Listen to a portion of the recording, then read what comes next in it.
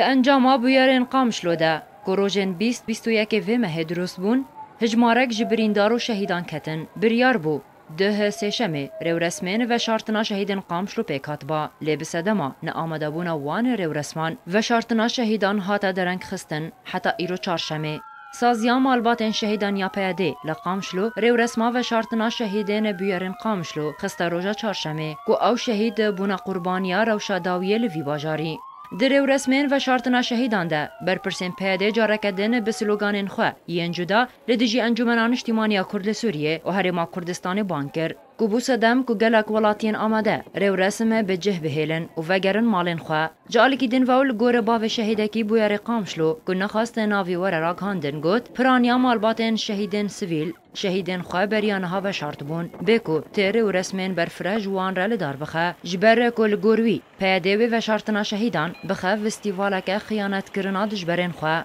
Di bûyerên Qamişlo de bîst û neh kesan jiyana xwe ji destda bûn, piraniya wan welatiyên sivîl bûn. Ji bilîvê bihtirî şêst û heftî welatiyan jî birîndar bûne, piraniya wan jî jin û zarokin. Bavê birîndarekî bûyerên Qamişlo ji arkere behsa birîndarbûna kurê xwe dike wiha dibêje. Em hatim dîsa bin wan pîşeka de me xwe gihandî misteşfa selam me xwîn da. والحمد لله أنا وضعي حما باشو وخد الظالم عرنا هيلي كي سبب بيت شكيبوجي خد تعالى جوارنا هيلي وخد وانا وفقيني يعني یعنی أطفال بون جريحي اي برينداري بشوك عمري حيصالي يعني كافي حيصال شكريشته وشايدا بشوك عمري لا صال لا صال ما شكريش ولا